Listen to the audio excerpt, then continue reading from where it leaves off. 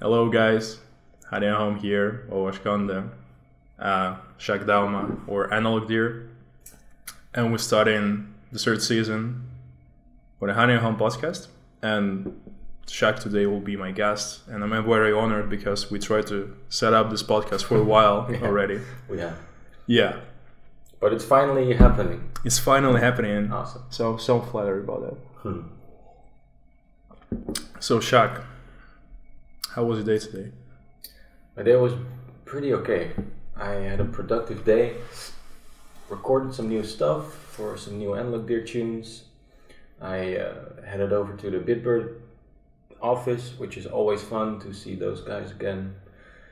Was a good day. Had some chocolate in between. Oh, yeah. Nine out of ten. Nice. Yes, Why not 10? can always be better.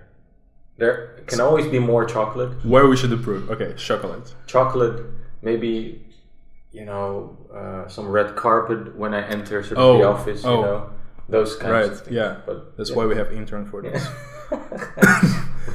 okay, right. Nice. It's always nice to receive a feedback from. So really constructive feedback. Um, so Sjaak, um, I think at the point that it will be out, your new release slash cover will be out as well. So maybe you want to talk through about that. So why you decided to make a cover for that specific song, or I suppose you can reveal what's the song as well. yeah, exactly. So um, the next release will be a piano cover of "Better Off Alone," and "Better Off Alone" was a, a Eurodance hit by Alice Deejay in uh, 1998 already. Yeah. The thing is, it's it's actually a, a, a re-release, but now sort of like the official route uh, through Spotify and iTunes and all the jazz. But it's already three years old, and I did it because I wanted to find a sort of like a connection between. You know, I three years ago I got sort of acquainted with Bitbird and with uh, Torvald and Sander, and you know I had a few talks with them, and we were just trying to find like a, a, a sort of common ground idea between EDM and and uh, the stuff I was doing. So and then the idea came like, why don't you do a cover of something that nobody should really do a piano cover of Yeah. because it's so not obvious to do. So then I did that, and you know, it actually got then picked up quite well. You know, it got some some plays on SoundCloud and some actually like a pretty big press coverage. Um, and uh, it was time to release this sort of for real now. Yeah, But it's like three years. yeah. It was a while. So, so why do while you think now? like, so why yeah. do you think now? Well, the, the thing is, um, uh, you know, it was already on my mind for a few years. Um, but I thought that it was more complex than it was to, you know, offer it through an official route. And um, um, uh, apparently, whether that it's like a, a new technology thing that is happening now, or it just like uh, got into my mind's eye, but it's actually quite easy to release a cover at this point, which you can officially distribute and like with the whole thing properly set up legally as well. Okay. Yeah, so that was the main incentive. I just saw that that could be possible, and uh, But besides that, so you were just kind of afraid it will be taken down, or uh, may, Yeah. probably the main reason. yeah, I think that's the main reason. Of course, like if I'm doing such a thing on, you know, a Spotify where you get some sort of monetization, then it needs to be constructed right. Yeah, you know. Um, but uh, I'm happy that it uh, it could be. it's cool. Yeah. It's cool. So you mentioned that you only were at Bitbird, like you know, Bitbird for three years for, for now. Yeah, three four years I think. Yeah. At this point. So like 2015. So mm, Yeah. basically when it just started. exactly. Cool. So how did you find out about guys? Like I, usually, so what I know the story like from Torvald how how he told me how Bitbirds appeared. Mm-hmm. So it would all started with just SoundCloud channel. Was your route to find out about Bitbird the same, or did you just met them somewhere in person? Like what was Well, the yeah, story? exactly. So the, the funny thing is that um, Analogue Dear for me as a project is already seven years old already. So, and at one time I was making more indie orientated stuff, like more, you know, real band stuff. hmm And I wanted to take that live to the stage, and um, I needed a drummer. And so a friend of mine said that I needed to contact Tim Bista. hmm I live here, which I did. Um, and then I got acquainted with Tim, and through Tim also with Sander, who was, I think, at that point, just making you know his first baby steps with uh, Bitbird and, and San Holo. hmm Still doing mainly, I think, even the Kazi Lo-Fi thing at that point. Um, so I got in contact with Tim. We did a few gigs together, and I was uh, uh, at the same time I was sort of releasing, self-releasing an EP, and I heard San's stuff as Kazi Lo-Fi, and I thought like, wow, this sounds amazing. I need to get my EP mastered by Sun because I was, uh, I, I became aware that he was also mastering other people's projects. hmm So I contacted him um, and he mastered my project. And then a few months later, you know, I saw the Bitbird thing picking up and uh, getting, uh, you know, some uh, some uh, momentum. And then at one point, he contacted me saying like, "Hey, I really like like your stuff uh, from your EP, and um, you know, would you like to do something with Bitbird?" Or I think one of the first things I did was uh, the B song remix hmm from the Trip EP, which also just got released Yeah. last year.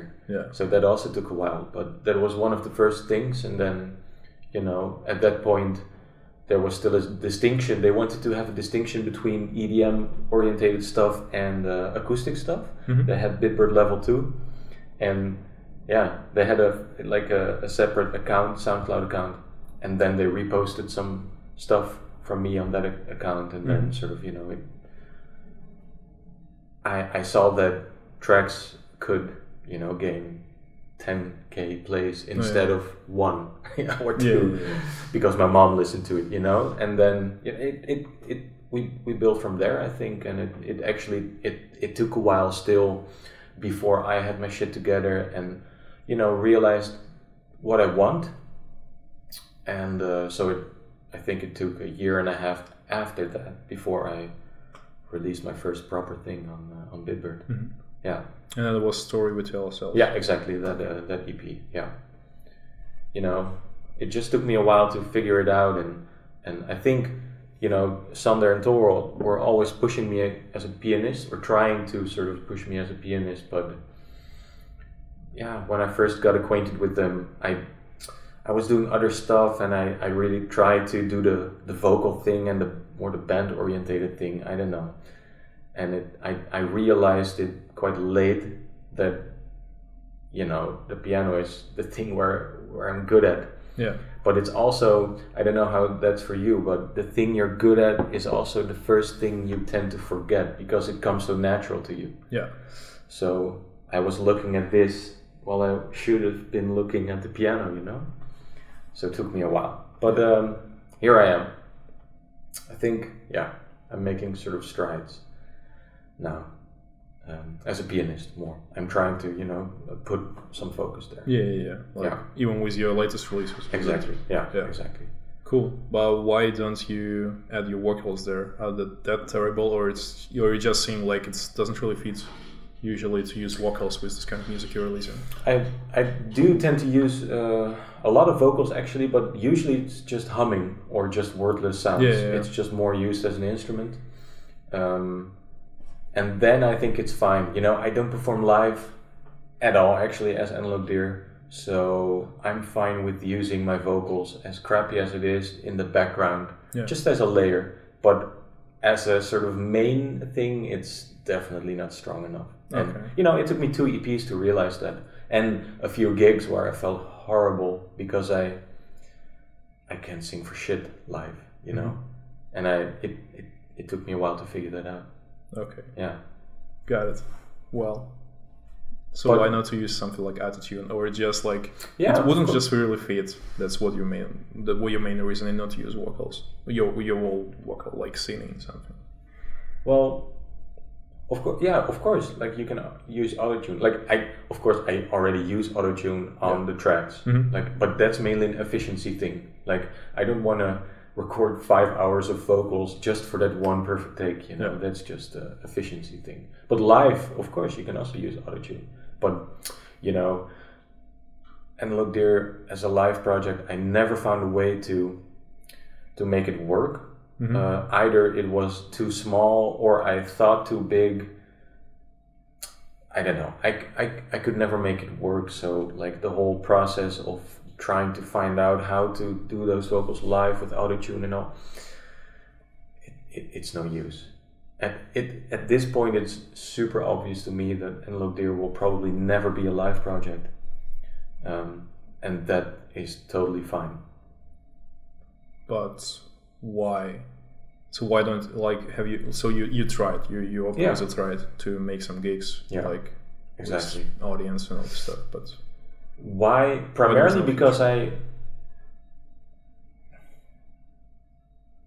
uh, my, my happy place is just being like in my ba- in my basement, oh yeah in my studio, uh, just making music, you know, and putting music out and, and producing stuff. And the the moments on stage where I felt happiness were far like and few in between. Like usually I'm I'm yeah, I'm not that much at ease on a stage, especially if it's my own project. Like if I just play for someone else, then it's totally fine.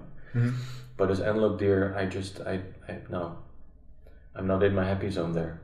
okay And the funny thing is, of course, that as a musician, especially as a music- musician that came from a a musician background as opposed to a producer background, you tend to think that gigging is is part of it. yeah. It needs to be part of it. And of course, like I think that you you make it sort of harder on yourself if you don't do gigs to you know gain some some some momentum. But it's not it's not necessary you know? There are other ways to make your project sort of happen. Yeah. And you know the gigging thing is one part of that. And um, yeah. You know i'm still sometimes i'm still undecisive about it but right now i'm just happy with how it is. And uh, maybe you know if the right opportunity will arise and with the right people it could work beautiful on the stage. But Mhm. right now it's it's fine as it is. Cool. Yeah. So besides just making music i also like making music for yourself i also doing something like scoring let's say for some other people like projects I would love to do that more. I have done a few things, like I did a documentary and a, a few short movies, Mhm. um, and that's super fun. And that's yeah, that's super fun. I would love to do that more. Um, didn't really yeah put much focus on there to be honest. Like all the focus the last year and a half were really on like building or trying to build Analogue Dear Mhm. more. Um, yeah, but that's definitely a fun thing to explore more because Mhm. that's I think you know the the music I make is um, definitely uh, you know suitable for that kind of stuff. it is yeah Yeah, it's a it's a, it's actually a quite obvious sort of you know connection. yeah So, yeah, maybe I should, um, you know, refocus on that. Yeah, it, it's like I am not here to give you any advices on building the project because I just also I've never been an artist and I've never been in your uh, shoes, so to say. Yeah, So I, I wouldn't know. yeah, but it's good. Sort of makes me also think about certain, you know, things. Yeah. And, uh, yeah, that's good. It's cool. So, um, you already mentioned your basement, Yeah, and I, I, I mean, I love that you made some kind of um, part of your image already. That you person who always sits in the basement yeah, with his robe, yeah. uh, you know, I a bit messy, and just doing exactly. Exactly. yeah.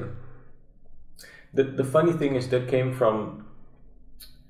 You know, I'm I'm ancient. I'm 33 year old years old, and you know, I I lived in an era where there was no internet. Yeah.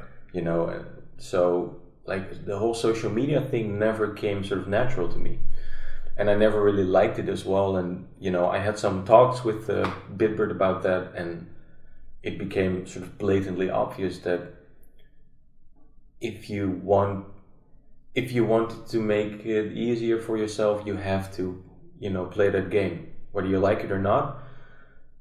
And so I tried to, from 2018 January, I thought like, okay, so I need to at least try this. I hated it. I, I, I, you know, I never liked to show my face on something or. And I thought, okay, I just, I'm gonna try it and uh, see if it works. And then at one point, of course, you see that it works, your engagement sort of starts climbing and your sort of audience and people, you know, start me- message, messaging, or what a word, you and, you know, and then at one point you start having fun with it. But at the same time, I'm also aware that, you know, I'm past my sort of, I'm past a certain insecurity that I want to show myself more prettier or you know better than I am. So. I am that guy that is always in his basement making music with a robe on. Yeah. You know, I can't make any more out of that. So why not show that and you know uh, uh, with it show a little authenticity. I think. Yeah. Yeah, that's like I didn't know you before we actually think met for even Bitbird talks like Yeah. that closely. So Yeah. uh, we never really talk Exactly. like during maybe some events Yeah, Bitbird, yeah, just exactly. hi and that's it. But I, I- saw that you also like the you seem to be enjoying the process of creating the joke out of your basement. Yeah, scene. I like the exactly. image of of course, of course. Yeah. yeah, That's of course it sort of gets um, memeified or like over exaggerated a bit, but um, I'm having fun with that because that's also, you know, that's actually sort of like a, a counterbalance almost to. You know, I'm, I'm making quite serious music. It's always Yes. a bit sad and a bit sort of you know melancholic, and um, I'm not necessarily like that as a person. You know, I also have my sort of weird as meme esque uh, personality going on. So I just, Yeah. you know, try to get everything that is me involved somehow in my social media outlet. Yeah, because it was so grotesque when you made the stories with Yvette, when you made the new track, and you were all like speaking about stuff on stories. Yeah, you yeah. were always make trying to make a joke out of every question. Yeah, exactly. And it was like, wait, this guy is like being, playing pretty serious music in Yeah, classical way. exactly, exactly. So like, yeah, yeah, yeah. But that's like a, I, I, I love contrast like that. Sort of uh, al- al- also in other artists. Um, like uh, one that comes to mind. Um, do you know Chilly Gonzales? yeah, Yeah, exactly. He also has that sort of going on, you know. He has this sort of. Uh, uh, he's obviously a very knowledgeable and like a real, a true pianist in the in the in the pure sense of the word. But he's also a, a jokester, and he also makes connections to from Bach to hip hop yeah, and you know find common ground there and give sort of like master classes in those. So like i, I love that sort of that contrast and um, yeah. I think that can exist sort of next to each other in one person. Yeah. and Sure. it's cool you know? So you, so what are the other like things that can be counterbalanced with your, so you are still your music, like the weird stuff that you do on not daily basis, but let's say like a weird hobby or whatever. So do you have any any of this? do i have a weird hobby I just wondered. Yeah. Well, the truth be told, like most of my time goes in my music, and with that, like this whole social media thing. Um, I'm a huge cinephile. Like I'm really a movie lover, and you know I do these huge sort of bulk retrospects of. Then I go to like a, a Lars von Trier or a Stanley Kubrick and watch their whole oeuvres and Mhm. diving into like uh, the noir sort of uh, new wave cinema or whatever you know i'm Yeah, yeah, yeah. really a movie lover in that sense so that's the only real thing next to music i'm doing Mhm. and then like there's only a couple of hours in a day, so my day is already filled with those two things. I actually know. Sometimes I think about it. I would love to do more. Like I, I would love to read more. I would love to write. Actually, I would love to, you know, dive into other things. But there's simply not enough time. I already feel there's not enough time to be, to become like the best version of like the music musician I could be hmm in this lifetime and you know to think about other things is it's almost overwhelming to me like yeah i tend to stick to two things than Yeah. just the movies and the music All right. Yeah. So, how did you decide music to be a life path? Was it just natural for you to do music all your life, or no not at all actually like i started at 15 um, so I had, a, I I had a whole lifetime without music before that. And i was actually like doing martial arts. Oh, karate and kung fu and at a pretty high level as well. And i was training seven days a week. And i did some breakdancing even. Like i was a really sort of a fit yeah kid.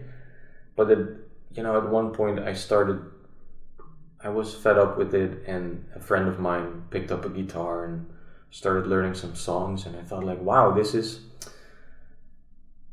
this is so e- easy. You know you pick a song you spend a week on it and then you can play the song. It's mm-hmm. super like concrete. You can okay let's do nirvana now and then you can cross that off within a week and then you go to the next song. It, it seemed super like hands-on to me.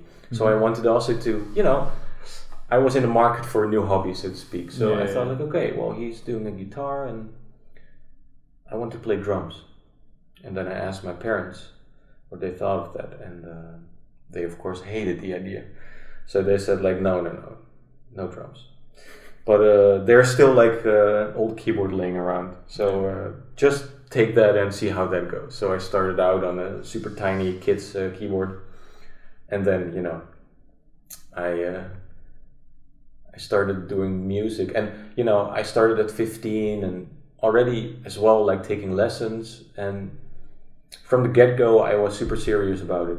But I was also aware of I was super classically orientated back then. I, I you know I was aware that most people that that are pianists in the classical sense um, of the word, you know, started at five, six, and I do believe that certain aspects of playing need to be ingrained from an early stage in life, just like ballet or something, you know. Mhm. And that's also with learning an instrument, and I missed that whole thing. Um, so it was just a gradual gradual shift from wanting to be a classical concert pianist to becoming more, you know, pop orientated, and then jazz came along and uh, the more movie orientated stuff. But I think I was aware of that I wanted to make it a profession at you know at 17 already or something. hmm And back then it was of course only a wish, but yeah, from I was serious about it from the, the day I started doing it. hmm Yeah, yeah. But it was, but you still mentioned it that it started as a hobby, Yeah. And then you just decided to go further. Yeah, of course. Like, uh, yeah, of course. So it started as a hobby, and I had some, you know, I had lessons from a really cool, crazy pianist that, you know, also got me acquainted with classical music and just going in depth in, in that. And uh, I'm still super grateful for that. But of course, like, um, the moment it got really serious when, was when I went to study at the Pop Academy hmm um, then you make a sort of conscious decision like okay it, if i do this for four years you know Yeah. um, then i uh, then i'm making my profession out of it or at least like i have the ambition to so yeah i did the pop academy um, in uh, rotterdam which i didn't finish actually me and i tend to be a bit st- uh, I don't know if stubborn is the right word, but um, Rebel. maybe a bit. Like I have a thing with authority, in a sense that I, I I question some things, and the school system was not meant for me, just to put it like that. Okay. So I dropped out, and uh, you know, I don't regret regret that at all. Like I, I learned some great things there, and you know, I got a, a network there of buddies that are also still musicians. So it was a good time. But um, and the fact that I don't have a, a thing to prove it, it, it doesn't matter to me Okay. because you know, in the end, nobody is asking San Holo for his. Uh, Diploma. yeah, Yeah, exactly. that's that also true, of course. Yeah. So you also tried to start a bunch of incentives on YouTube. Yeah, So you started like memoirs. Exactly. Like this. yeah. But it was one and only. yeah, memoirs. Yeah, What's I, re- happening? I remember that one. Yeah, okay. So it was the idea to do that on a monthly basis, or even like a, a bi-weekly basis. Yeah. But actually, like, okay, so we did the first one, and uh, I was pretty set up for the second one. But then I came to the realization that you have like four different uh, agendas that need to be aligned. So, you know, everyone is busy. I get that. So, yeah, it didn't happen. We actually we shot the second one. So maybe it, it just becomes a yearly thing. Oh yeah. Well, also something. So there were several people working on the project because on the video it was you, there was a vocalist, like the girl. Yeah, exactly. Yeah, yeah. so I like the, the concept of memoirs was just to show the music uh, in a in a, a bit of a different light. So that song uh, from Memoirs One is like a vocal only track uh, on the studio version, and now we did it just with the piano. So you know you Hmm. shed a different light on the same song. But it's going to like so. I just wanted to know more about the concept that Yeah. stood behind. Like even though it didn't turn out to be a full series of it, but still I want Not to know. yet. Yeah, not yet, not yet. We don't know yet. So, um, so was it mainly uh, trying to play different versions of your own songs, or was it also gonna be covers, or like, or you didn't really think about it that far? No, it was. It uh, at first I thought of also including covers, but um, yeah, I think I had some talks with Torvald about it, and then it was clear that I would only be doing originals. Um, but just like you know what I said, just shedding a different light on uh, on the track. But you know, it's logistics, logistics, man. Between people that are busy, that's exactly also what I hated about being in a band. Hmm the the the the, the fun of it gets blown away from me immediately because there are logistics. Yeah. you know and then the, almost the focus comes to lie on that thing and then that's why it was actually one of the main reasons why I started Analogue Dear just to get rid of that Of the band. yeah Okay. yeah, I had a band, you know, a few bands, of course, before that, and while it is fun, it's also it's it's it's a lot of it's intense. It's it's hard work, of course, and to get everyone aligned to the sort of same headspace is super difficult. I found it too difficult. So um, at least like with Analogue Dear, I can I also maybe I'm not this, the the fastest worker or the most efficient, but you know, at the end of the day, I can look myself in the eye and think, "You're an asshole because you didn't do this or this today," Yeah. as opposed to, "I hate that guy in my band, but I can't really do anything about it because he is him," and you know, just the. I'm self-reliant, and I Mhm. love that. Yeah. Sort of that I'm sort of yeah, I'm I'm the only one, you know You'll be the only one to blame if something exactly doesn't go. exactly yeah. and i i do that enough you know but uh, that's perfectly fine but to rely on someone else i find that difficult Of course, it's always difficult. Yeah. I bet. yeah Um, you also shoot a really beautiful clip, like the video clip for the Obrecht. mm, yeah yeah that was my first um, you know my first venture into sort of like that whole thing and doing Yeah. a thing like that sort of like professionally so that was that was uh, heaps of fun um, So who worked on the concept of the video? Yeah, so we got uh, Joris. Uh, Oh. He also did, I think, Wake the Warrior for Dulu. or he worked on that. Yeah, he was involved. I think. Yeah. Yeah, maybe not the concept because that was Hein, but anyway, he worked on that, and um, we got him aboard, and I think the concept was pretty, yeah, clear from the get go or something. hmm And but of course, like even because it's a super small concept in that sense, you know, Yeah. and even that takes like uh, quite some effort, of course, to like get together with all the people that are involved with the lighting and all the you know the props have to be sort of uh, yeah uh, fixed and uh, the grand piano had to be sort of rented and it, at the end of the day there's still like a lot of things that you know need to happen for something like that but i'm super happy with the result and um, yeah would also love to do that more but i do realize you know even like the cheapest video clip is already a few k Yeah. if you want to do something properly. So um, yeah, I am actually like for the Gouldian Finch three track. I am going to do a video with a buddy of mine, just more like a low key, no budget video clip, Yeah. but just you know to give a little bit more weight to the to the to the song. That's good. Yeah, so uh, it's gonna be fun. Uh, maybe it will be another level, but still, like it's, it's Yeah, something yeah. you know people can look at. So. Sure. Yeah, because it's not always that you need to spend that much. No. Even though, like in in the regular concept of the music video, yes. But I know that for a Cecilia Face for San, like Torvald just bought a filter on his Exactly. iPhone, and that was it. and that was it. Yes. And I find that the most beautiful, one of the most beautiful clips there are. Like there is. yeah. Um, yeah. No, definitely, that's definitely right. But if you like do it with a team, then of course, like just the the the the fact that there are ten people working on it already says that it's going to be expensive. Yeah. You know, no, it doesn't even matter what you're doing.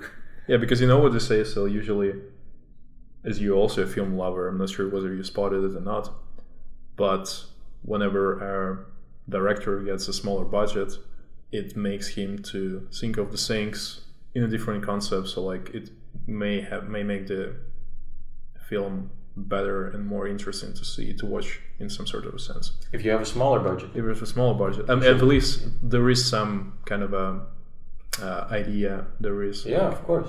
about that. Yeah, I mean, at, at, it, it could probably work both ways, but I do think that, of course, like if you have to work yourself around the budget creatively, then like beautiful things can happen. Yeah. And also, like I don't know, do you know um, the director Michel Gondry? He directed Eternal Sunshine of the Spotless Mind and Oh, uh, yeah. Be Kind Rewind. Um, he also made some beautiful sort of I don't know dreamlike scenes with no budget and just like with foam and all kinds of weird stuff that you find around the house, but done in a really charming way Yeah. and it sort of works beautifully. And um, that's a, a beautiful example of that, actually. I think because if you would have had access to CGI, Yeah. you know, It would most likely spoil exactly. it all. Yeah. Yeah, exactly. Yeah. So, what do you think, uh, being called Analogue Dear, um, some of the filmmakers actually shooting with analog film, does area does it actually bring some more charm into the in the into the movie, or it doesn't really matter in the end? I'm not sure whether you ever thought about that, but I'm just I just Well, decided I- to bring it up. Exactly. I do think, like, I, I recently saw Argo for the first time. hmm Um, and then the story is set in the 70s, and I the first thing I noticed actually was the picture quality. It was so, you know, reminiscent of the 70s, sort of in a way. And then I found out on IMDb that they uh, just uh, recorded digitally, but they blew up the image to 100% to show the grain in it. Sick. Exactly. It it you know it looked super natural in that sense, but I do think it's a it's a kind of charm. But at the other end of the spectrum, I'm I'm I hate uh, new movies that are shot so crisp and so fluid with like the 4K and or the 8K sort of technology, and uh, that movies lose their cinematic quality and start to look like documentaries. Do you Oh. notice that? If you like, I don't know, like with um, the the first like movie that that that I saw that sort of uh, uh, made it clear was the Hobbit trilogy. Mm-hmm. That was shot like super crisp and super fluid, and of course, like all movies prior to like a certain age were always shot in 24 frames per second, and there's a certain motion blur with 24 frames per Yeah. second. Yeah. And if you, of course, shoot in 48 or 60 or even like 120, then you lose that motion blur and things look crisper, but also more natural and thus less cinematic. Yeah, I feel. I see. So it, those new movies take me out of the experience because they just look, they, they don't look as visually appealing to me as older movies. Hmm. Yeah, it's funny. I like, I, yeah, I, I want to snap out of it, but I can't. Sort of. Yeah, was for a- me, you know, the new technology is working backwards for me in an aesthetic sense. Okay. Yeah, Interesting. yeah, because I love that the actual technology is there. Like also, like you talked about the Bandersnatch. Yeah. I watched that on a on a 4K TV, like this big, and the image was so crisp. It was beautiful. Yeah. Like, wow, that's another level where they shot it. So that was like there was an instance where I sort of could enjoy it, but usually it takes me out of the cinematic experience. Really? Yeah. I don't know how that's for you, but Yeah, I never thought about it this way. Like, I'm probably more of a gamer rather than person who like watching films exactly. because that's why for me, like usually all the graphics are kind of crisp in this sort of sense. Yeah. So they're at least trying to make to make it look like it more of a real life Exactly. experience. Exactly. So probably that's why I couldn't really like I find it appealing sometimes and it brings some charm when you watching a movie about like older ages, maybe like last century, seventies, eighties, whatsoever. Yeah, but I wouldn't say that it's ruining the cinematic scene for Mhm. me. But that's an interesting point. Never Yeah. thought about this this way. Yeah. Well, I can imagine that as a gamer, it's like a different kind of cookie, of course, because the whole, you know, the last time I gamed was with the PlayStation 2, I think. Really gamed. Oh yeah. so, yeah. like, they lost me a long time ago. but it's a long time. yeah, exactly. If I met a buddy and, like, he is, like, playing, uh, what are the kids calling it these days? Uh, Red Dead Redemption, I think. That's me, I'm playing it. Yeah, exactly. yes. Yeah. Looks amazing, you know? It is. for me, I didn't see anything for the past 15 years on graphics sort of uh, terms. So that looks amazing, of course. And then, yeah, I don't know. But do you have the same nostalgic feel for uh, lesser graphics or like older consoles? To be Or if- honest, I don't. Okay.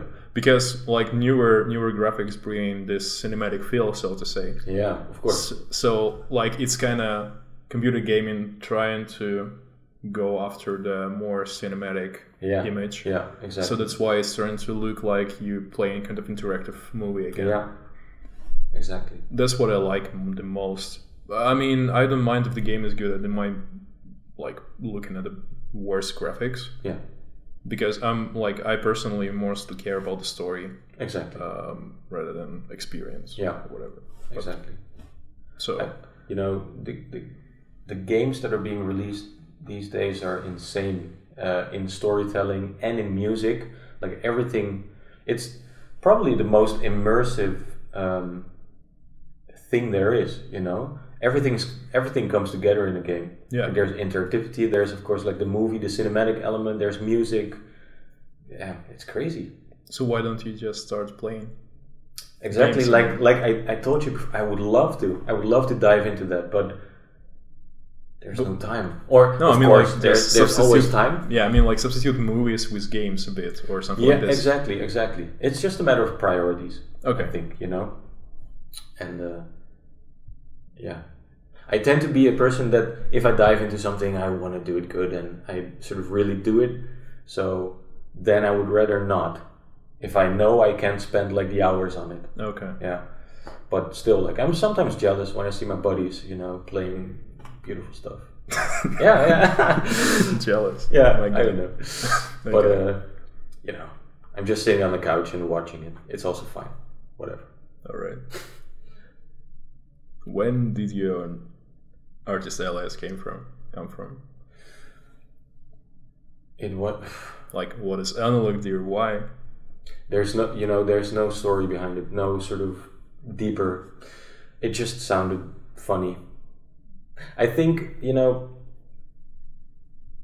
Back then, I think I was still at the stage where I thought like your name was like everything, and it needed to be unique, and it needed to.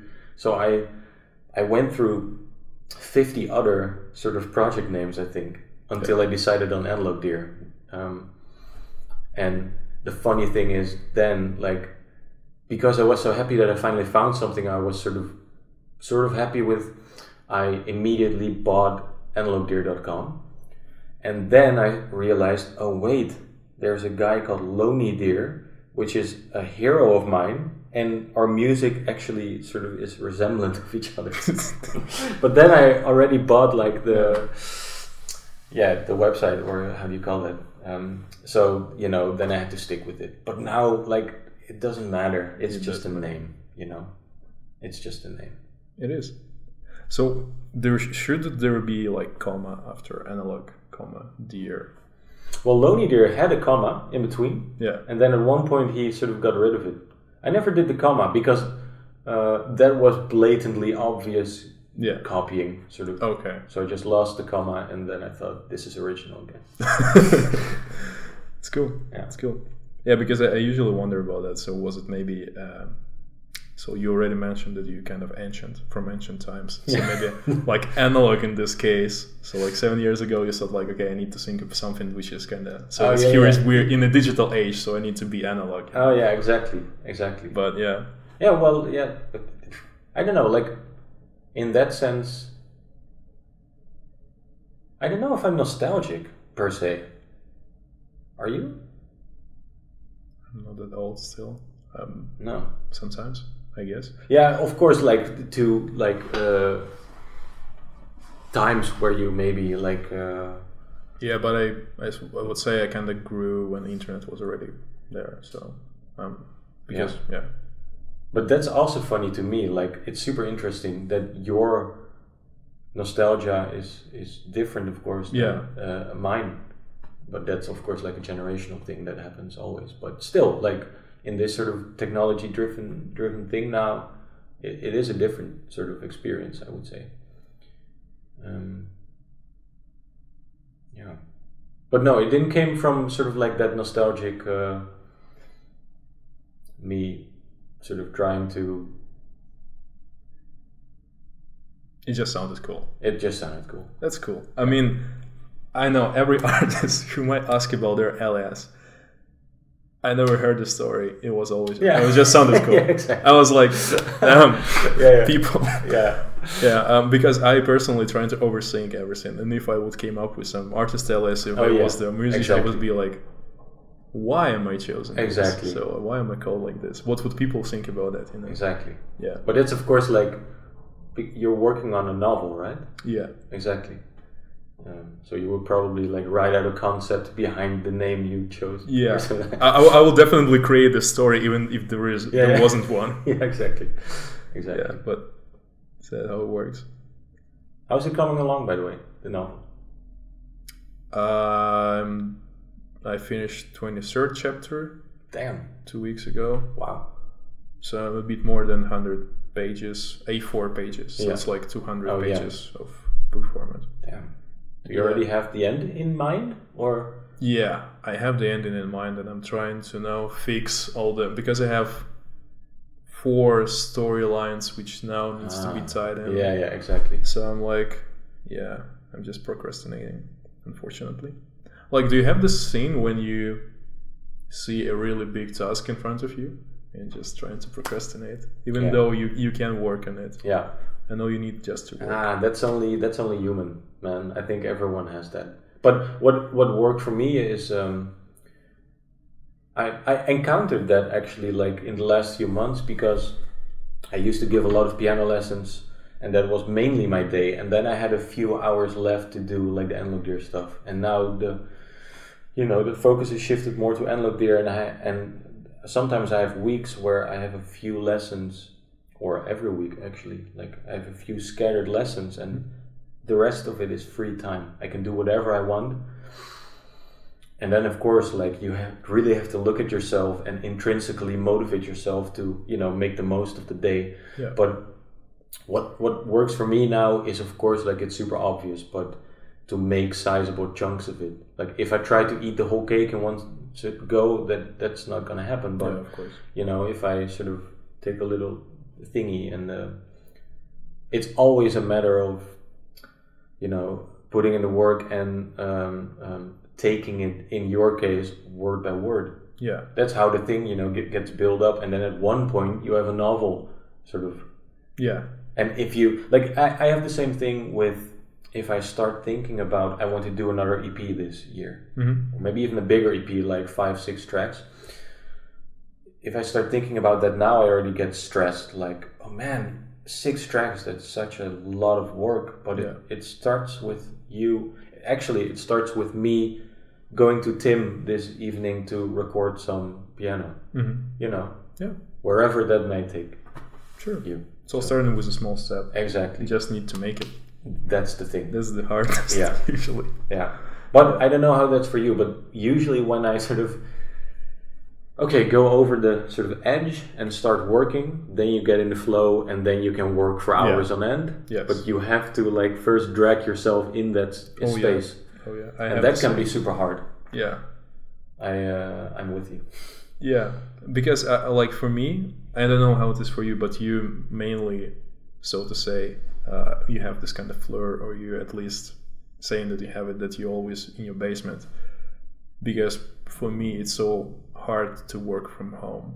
Okay. Like I'm getting so much distracted by anything. yeah, Like someone texted me, or I decided to turn on TV or whatever. exactly.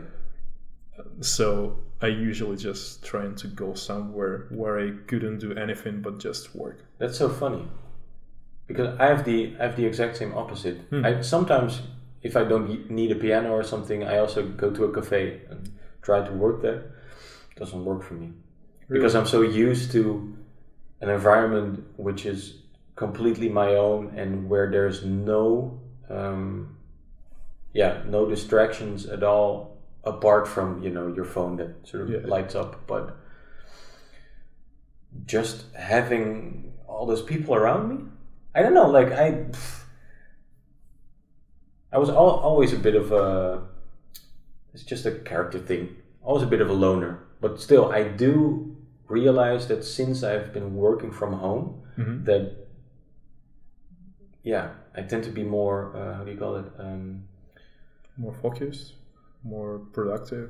no more um, damn i lost the word more intact with what you're doing, more No, that the- distracted. The, the, distracted, exactly. So I can take less from my environment, so to, so so to say. okay. Yeah, because yeah, I, I get distracted by people and like, uh, yeah, I don't know, because I'm just not used to it anymore. I think. Yeah. Well, maybe. Yeah, but you know, whatever works, it works uh, different for everyone, and that's fine. Yeah, but um, you know, if you can do the work in a cafe, then go to a cafe. Oh yeah. Yeah, I have my favorite spot already. yeah, nice. Yeah. So that's a cool thing. I suppose we are close to the end. Cool. Well, you already asked me a bunch of stuff, but still, the very last thing, I ask you to ask me something. All right. Um, how did, did you get in touch with um, Heroic and Bitbird?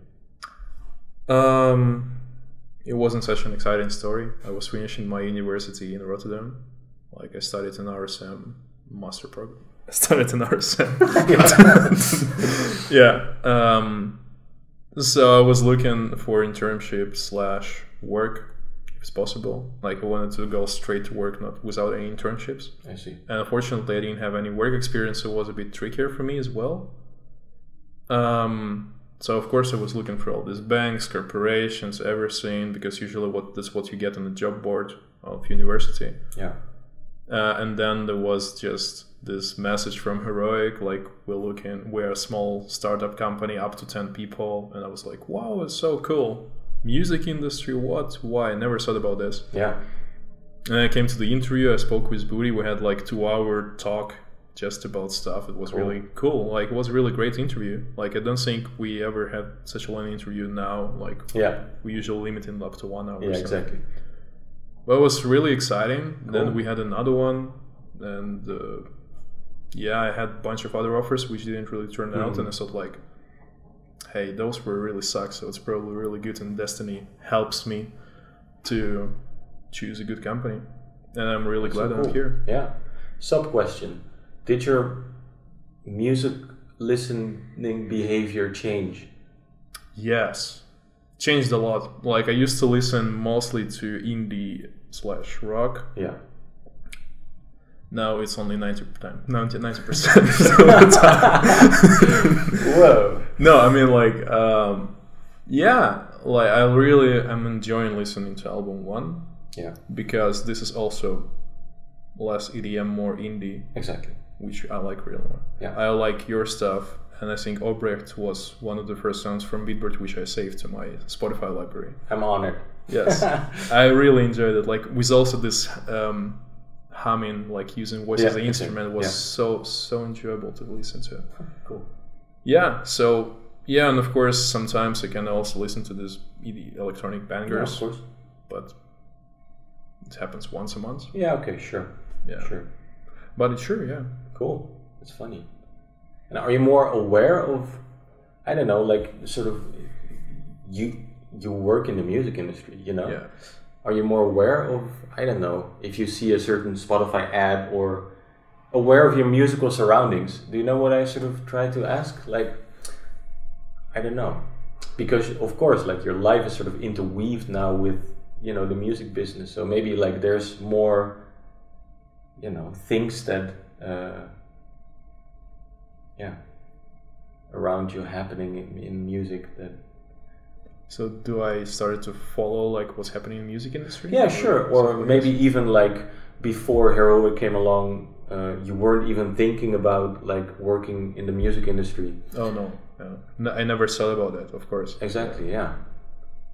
because all the creative industries for me, it was something cool, Yeah. but it wasn't something which kind of my studies were concentrated Exactly. on. Of course, because yeah, I mostly.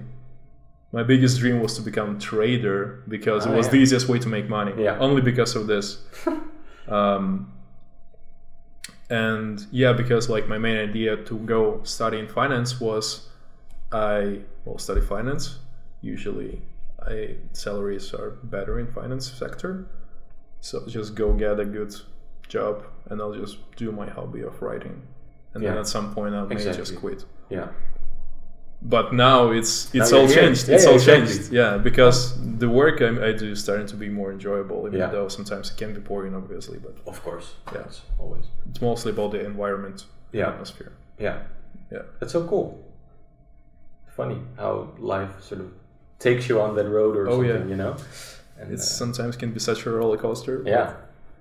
it's always a pleasant ride. Yeah. Cool. Awesome. Cool. Thank you. My pleasure. Thanks for having me. It was a real joy to talk. Likewise. Hmm. Likewise. Bye, people.